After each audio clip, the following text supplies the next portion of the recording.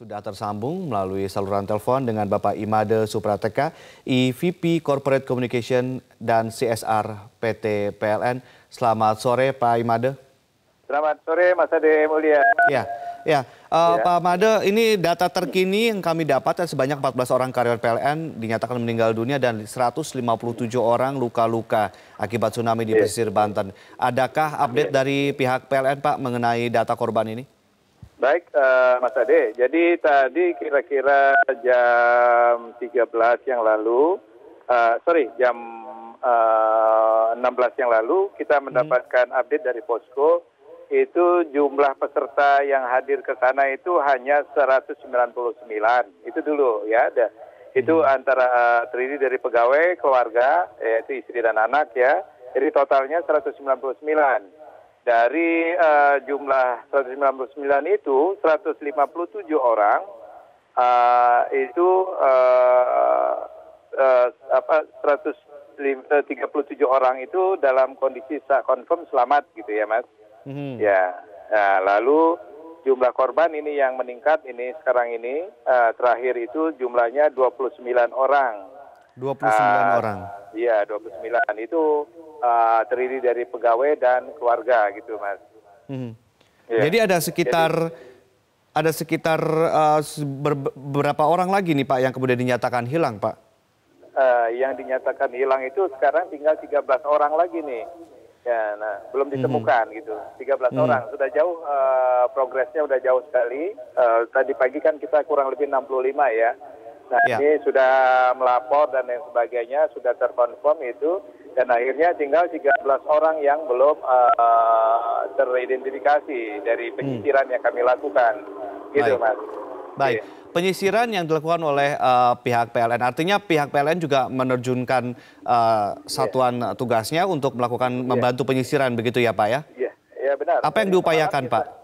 Ya, dari dari kemarin kita sudah melakukan ini uh, semalam ya kita mengirimkan uh, beberapa personil TRC namanya, tim reaksi cepat untuk uh, bencana. Uh, ini yang melakukan penyisiran dan kita juga mengirimkan kurang lebih 36 uh, jumlah ambulan jelasnya hmm. yang melakukan penyisiran dan melakukan evakuasi terhadap korban-korban khususnya yang ada di acara uh, employee gathering uh, TJBB PLN tersebut gitu, hmm. gitu Mas. Gitu. Baik. Jadi di samping Baik. itu juga kita mengirimkan tenaga teknisnya Mas ke sana Mas Ade. Hmm. Baik, kita berharap kemudian uh, cepat ditemukan uh, Pak uh, Made. Kemudian ini bagaimana Pak kondisi kelistrikan pasca bencana tsunami, terutama di kawasan-kawasan yeah. terdampak? Apakah kemudian sudah bisa dipulihkan kembali atau seperti apa? Ya, begini. Sebelumnya kami menceritakan bahwa di sana itu kurang lebih ada sekitar 248, hampir 250 gardu gardu ya yang ada di sana. Nah dari hmm. jumlah itu 146 itu masih on, masih bisa berfungsi dengan baik. Selebihnya 102 hmm. gardu itu yang uh, mengalami pemadaman mati karena hmm. mungkin terendam air ya.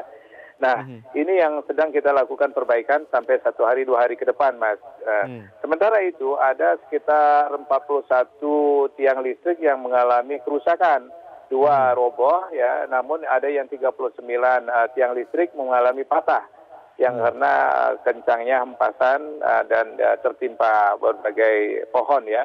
Nah ini hmm. mengalami patah.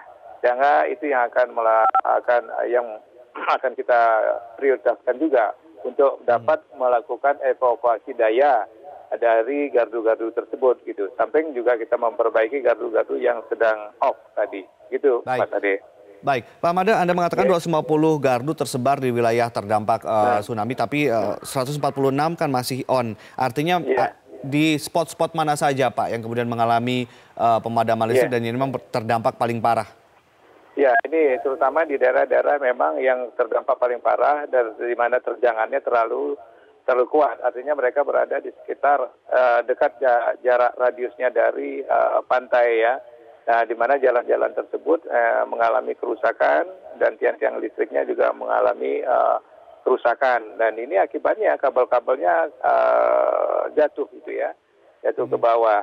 Nah ini yang uh, prioritas nanti mendapatkan perhatian kita karena di samping untuk memberikan keselamatan juga uh, kita berupaya supaya pemulihan penerangan di situ supaya meningkatkan tingkat keamanan yang ada di sana gitu ya. Hmm. Uh, lalu yang ketiga juga bagaimana supaya uh, kelistrikan ini uh, uh, bagi yang mempunyai uh, produk uh, apa namanya upaya-upaya rumah uh, industri rumah tangga dapat melaksanakan kegiatannya untuk uh, lebih menghidupkan segera ekonomi yang ada di daerah bencana tersebut.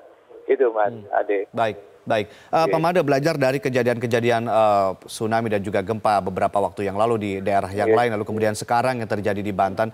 Tahapan-tahapan yeah. nih Pak, kan Anda mengatakan satu hingga dua hari ke depan akan mudah-mudahan akan segera pulih kembali. Tahapan-tahapan yang dilakukan apa saja Pak? Ya, biasanya kita memang melakukan perencanaan seperti demikian. Standar operasional prosedur kita sudah ada.